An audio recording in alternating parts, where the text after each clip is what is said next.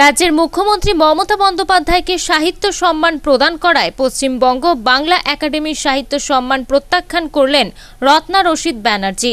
মঙ্গলবার এক সাংবাদিক সম্মেলন করে পূর্ব বর্ধমান জেলার শহর বর্ধমানের খাগড়াগড় এলাকায় নিজ বাসভবনে এ কথা জানান রত্না রশিদ ব্যানার্জি। তিনি বাংলা একাডেমিতে ইমেলের মাধ্যমে এই পুরস্কার ফিরিয়ে নেবার বিষয়ে পত্র পাঠিয়েছেন। দু হাজার নয় এবং দু হাজার উনিশ সালে দুবার তিনি বাংলা একাডেমির পুরস্কারে ভূষিত হয়েছিলেন। তিনি জানান দু হাজার উনিশ সালের ছাব্বিশে জুলাই একাডেমির পক্ষ থেকে তাকে অন্নদা শঙ্কর রায় স্মারক সম্মানে ভূষিত করা হয়। সেই সময় তিনি এই সম্মান গ্রহণ করেন। সোমবার পশ্চিমবঙ্গ বাংলা একাডেমি একটি নতুন পুরস্কার ঘোষণা করেন। প্রথম বছরেই সেই পুরস্কার অর্পণ করা হয়েছে রাজ্যের মুখ্যমন্ত্রী মমতা বন্দ্যোপাধ্যায়কে। সিদ্ধান্ত নিয়েছি কালকের ঘটনা পরিপ্রেক্ষিতে? আপনারা সবাই জানেন।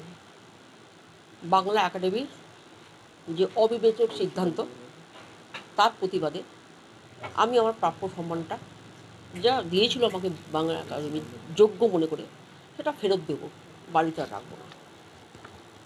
এই সিদ্ধান্তের কারণটা কি? মানে একজন লেখিকা উনি তো পেতেই পারেন পুরস্কার। তুমি কিসের লেখিকা? প্রচুর বই আছে তাই? বই থাকলে পুরস্কার হয়? বইয়ের বইয়ের তো একটা স্ট্যান্ডার্ড থাকতে হবে। তাছাড়া উনি একজন মান্য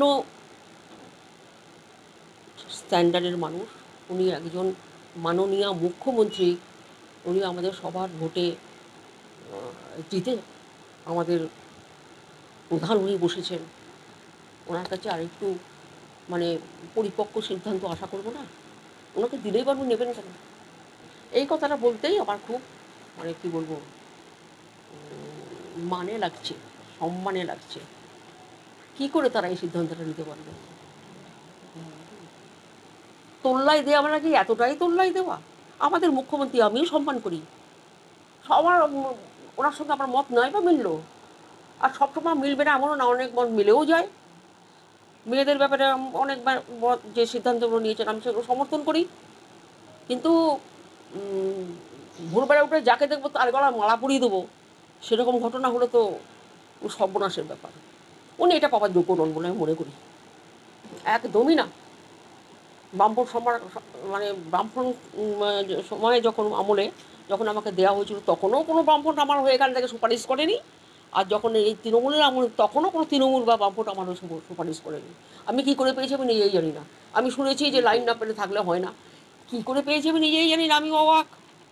ওই- এই ওখানে একটা কাক, আমি অবাক সেরকম অবস্থা।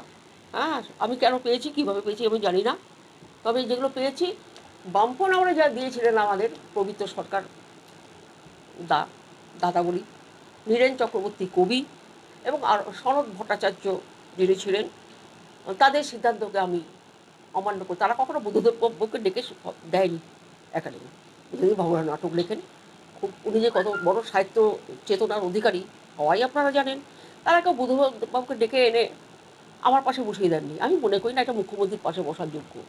আমি তাই ফেরত দেবো এটা। যোগ্যটাকে হ্যাঁ শাওনুদির হাত থেকে নিয়েছিলাম। উনি একটা আলাদা হাইটে থাকেন। মনে হয়নি যে ছোটোখাটো কিছু কাজ হচ্ছে বলে। বর্ধমান থেকে পিন্টু প্যাটেল ও টিঙ্কু সাউয়ের রিপোর্ট, আনন্দ বার্তা।